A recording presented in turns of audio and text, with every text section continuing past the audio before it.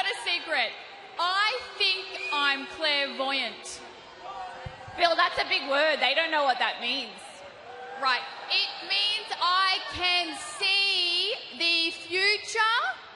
Just like last week, I predicted that you would beat Naomi. Yes, I did. what else do you see? oh, okay. I see the Toronto Raptors having a dismal season. oh, and I see Naomi having nightmares about losing again tonight. I mean, look at her face. It's like she's frozen with fear. No, I think that's just how she looks. Wait a minute.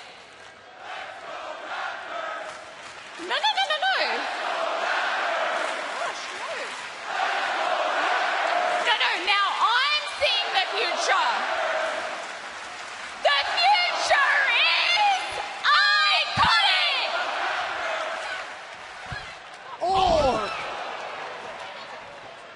Oh, and a leg drop right across the throat. Here's a cover against Billie Kay and a kick out. Boy, boy, here's Naomi looking for a little bit of redemption look at- here look at against Billie the Kay Iconics. just- Billie Kay stuck in Naomi's hair.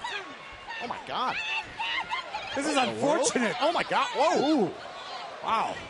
Oh, and a That's boot what was right- in the Great Muta's mouth all those years. oh, and driven down to the canvas by the hair.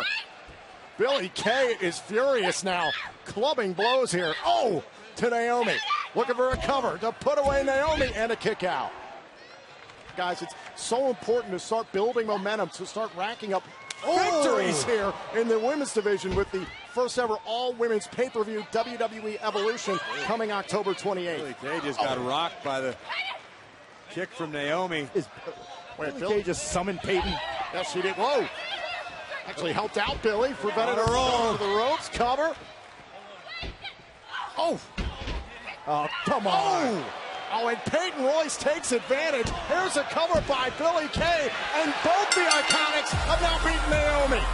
Here is your winner, Billie Kay.